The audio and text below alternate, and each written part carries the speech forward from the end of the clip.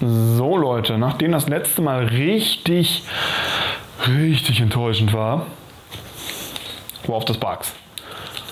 Bitte, bitte, bitte. Ich möchte ganz gerne einfach einen coolen Planeswalker ziehen. Jo, steht. Seit, was? Seit, seit wann ist hier so ein roter Punkt mit, wo, wo EN drauf steht für Englisch? Ich bin verwirrt. Ich muss mal gucken bei den anderen Boostern, wenn ich die noch rumliegen habe, ob da DE oder so drauf steht.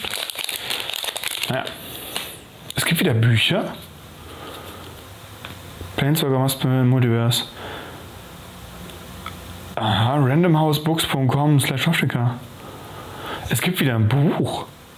Ähm, ja, äh, man lernt nie aus, würde ich sagen. Ne?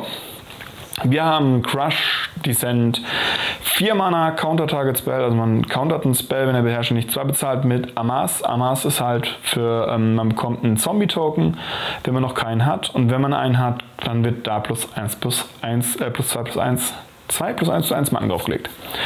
Return to Nature, in meinen Augen eine der stärksten Karten in dem Set. Für 2 Mana Instant zerstören wir entweder ein Artefakt, eine Verzauberung oder exilieren eine Karte aus dem Friedhof.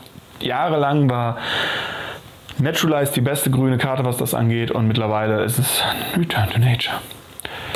Dann haben wir Davrils Shadow Fugu für 4 Mana Sorcery, wirft, der Gegner zwei, wirft ein Spieler zwei Karten ab und verliert zwei Leben. Okay. Sahelis Silverwing, 4 Mana 2-3 und wenn er ins Spielfeld fliegt und wenn er ins Spielfeld kommt, können wir uns die oberste Karte von einem Gegnerdeck angucken.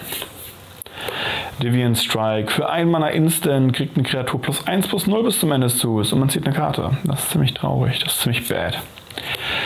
Thunder Drake, 4 Mana 2-3 und immer wenn man den zweiten Zauber in jeder Runde spielt, bekommt diese Karte eine plus 1 1 Marke.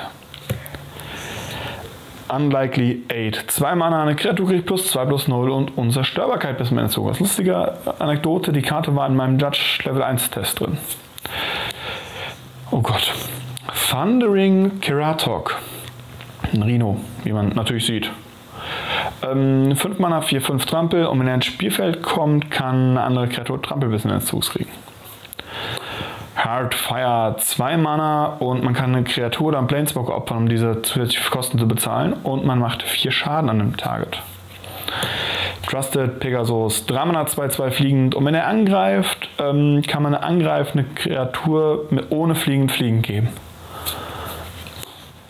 Tibalt Rager, 2 Mana 1-2 und ähm, wenn er stirbt, fügt er einen Schaden zu. Man kann ihm für 2 Mana plus 2 plus 0 geben. Der ist echt gut. Er ist echt nicht bad und ist ein Devil. Hat auch ewig gedauert, bis Devil Teil von Magic war. Price of Betrayal. Ein Mana, man nimmt 5 Marken von einem Artefakt, einer Kreatur oder einem Planeswalker oder einem Gegner runter. Ich würde lieber 5 Marken von mir runternehmen, wenn ich Infect-Marken von mir runternehmen kann. Ist das jetzt schon eine Rare? Nein, da kommt noch eine ankam und es ist Arlen, Voice of the Pack. Das ist ein neuer Planeswalker. 6 Mana kommt mit 7 Marken rein und jede Kreatur, die Wolf oder Werwolf ist, bekommt plus 1 plus 1, kommt mit einer plus 1 plus 1 Marken ins Spiel und für 2 Mana minus 2 kriegt man einen Wolf. Ich hatte damals ein, ein Holding Wolf Run Deck, Pack, Deck, irgendwas. Ähm, da bin ich cool gekommen, heutzutage, meh. Und unser Rare ist Tomic. Ah, ich als Death and Texas Spieler, mir geht da Herz, das Herz auf.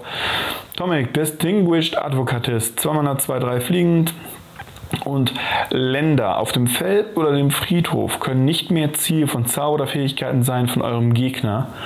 Und euer Gegner kann keine Länder aus seinem Friedhof spielen. Die kenne ich in- und auswendig, spiele ich auf fast jedem Turnier aktuell. Ja. Dann unser Forest. Das sieht nach Amonkhet aus. Und ein Devil. Mit dem Buch. Jungs, wenn ihr genaueres wisst über dieses Buch, schreibt mir das bitte.